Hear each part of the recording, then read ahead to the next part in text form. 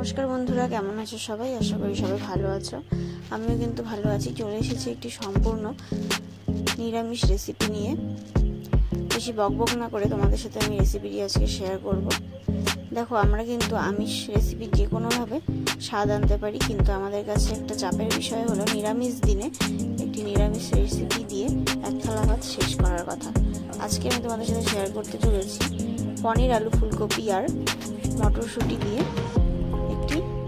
সম্পূর্ণ নিরামিষ ডালনা রেসিপি অথবা এটিকে আমরা কিন্তু মটর পনির রেসিপিও বলতে পারি। বেশি বকবক না করে চলে আসি রেসিপিতে প্রথমেই কড়াইতে তেল গরম করে কিন্তু নেব আমরা।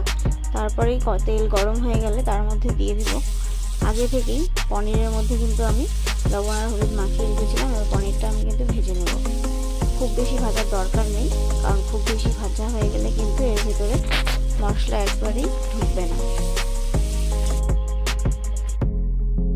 পনিরগুলো কিন্তু আমাদের ভাজা হয়ে গেছে, এবার আমরা পনিরগুলো তুলে নেব। এবার, এরপরে কিন্তু মেন কাজ চলে আসি আমরা। যে কোনো পনির রেসিপি রান্নার ক্ষেত্রে কিন্তু তোমরা এই ট্রিকটা ইউজ করতে পারো। নিয়েছি গরম জলের মধ্যে সামান্য চিনি আর গুঁড়ো দুধ যেটা হয় সেটা দিয়ে কিন্তু গুলিয়ে নিয়েছি আর এই তার মধ্যেই কিন্তু এই ভাজা পনিরগুলো দিয়ে দেবো। খানিক্ষণ রেখে দেবো আর তারপরে চলে আসি কড়াইয়ের মধ্যে আর একটু তেল দিয়ে আমি আলু আর ফুলকপিগুলো ভেজে নেব। তোমরা আলাদা আলাদা করেও ভাজতে পারো, কিন্তু আমি একেবারেই ভেজে নিচ্ছি। তো এবার এর মধ্যে লবণ আর হলুদ দিয়ে কিন্তু ভেজে নেব। আর ওদিকে কিন্তু বাটা জিরা বাটা, জিরার গুঁড়ো, লঙ্কা গুঁড়ো, একটু সামান্য পরিমাণ গোলমরিচ গুঁড়ো দিয়ে, জল দিয়ে গুলিয়ে রেখে দিয়েছি। আর এদিকে কিন্তু আমার দেখতেই পাচ্ছ তোমরা আলু আর ফুলকপিগুলো ভাজা হয়ে গেছে। আবারও বলছি, এই সময় কিন্তু রান্নার সময় গ্যাসের স্পিডটা কিন্তু একটু কম করে নেবে।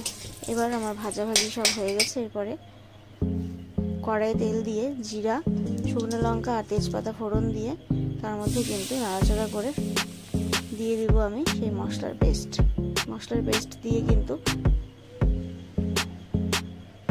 চুলার আঁচ একদম মিডিয়ামে রেখে নাড়াচাড়া করতে হবে শুকনো মতো।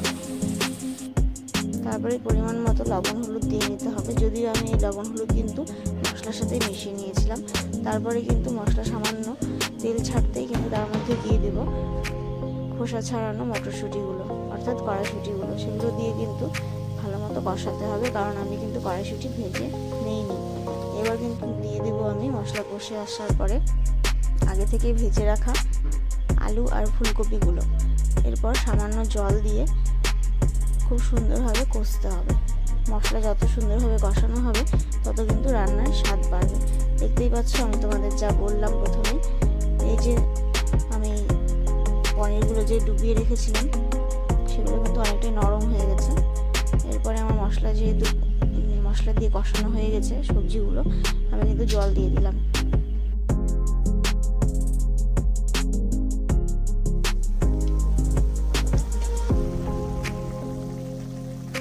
জল দিয়ে কিছুক্ষণ ঢাকা দিয়ে রাখার পর ঢাকা খুলতে দেখলাম যে সবজিগুলো কিন্তু সেদ্ধ হয়ে গেছে তার মধ্যে কিন্তু আমি যে মিশ্রণটাতে ডুবিয়ে রেখেছিলাম, অর্থাৎ গুঁড়ো দুধ, চিনি আর লবণ দিয়ে যে গরম জলের মধ্যে মিশ্রণটা তৈরি করেছিলাম আর তার মধ্যে পনিরগুলো ডুবিয়ে রেখেছিলাম, সেই মিশ্রণটা কিন্তু ঢেলে দিয়ে ভালোভাবে নাড়াচাড়া করতে হবে।